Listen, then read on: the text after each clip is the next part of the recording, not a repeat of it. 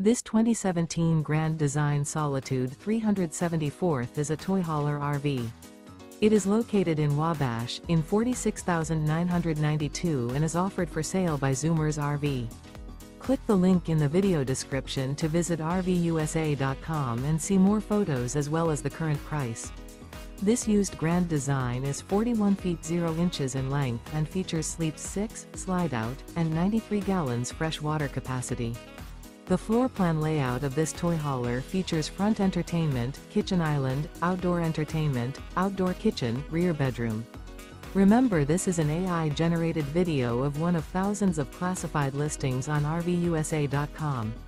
If you're interested in this unit, visit the link in the video description to view more photos and the current price, or reach out to the seller.